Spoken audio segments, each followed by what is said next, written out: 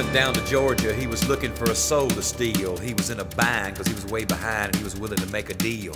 When he came across this young man sawing on a fiddle and playing it hot, and the devil jumped up on a hickory stump and said, Boy, let me tell you what.